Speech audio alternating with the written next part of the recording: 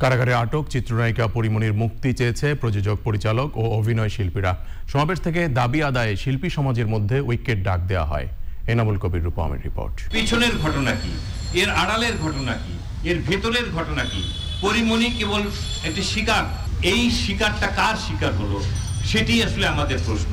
বাসা থেকে মাদক উদ্ধারের মামলায় তিন দফা রিমান্ড শেষে এখন কারাগারে চিত্রনায়িকা পরিমণি জামিনে মুক্তি চেয়ে করা আবেদন আবারও নামঞ্জুর হওয়ার কয়েক ঘণ্টার মধ্যেই রাজধানীর শাহবাগে শিল্পী সমাবেশ থেকে পরিমণির মুক্তি চাওয়া হয়।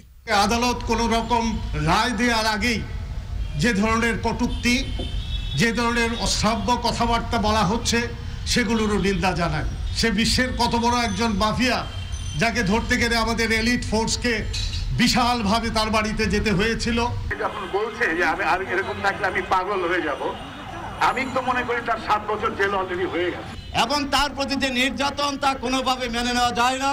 পরিমণি ন্যায় বিচার পাচ্ছেন না বলে অভিযোগ করেন চলচ্চিত্র পরিচালক অভিনেতা ও নাট্য ব্যক্তিত্বরা।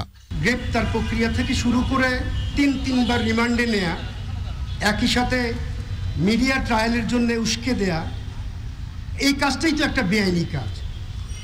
তো আইনের রক্ষক যারা তারা তো আইন ভঙ্গ করেছেন তাদের কি হবে আসলে? শাস্তির যোগ্য হয় তাহলে তারপরেও সে যেন মুক্তি হয় আমাদের কাছে তাড়াতাড়ি ফিরে আসেন। তাকে ক্ষমা সুন্দর চোখে দেখে তাকে ক্ষমা করে দিন। ক্ষমা করে তাকে মুক্ত করে দিন। পরিমণির মুক্তি না হওয়া পর্যন্ত দাবি আদায়ে মাঠে থাকার প্রত্যয় জানান শিল্পীরা। Enamul Kabir Rupam Channel I Dhaka.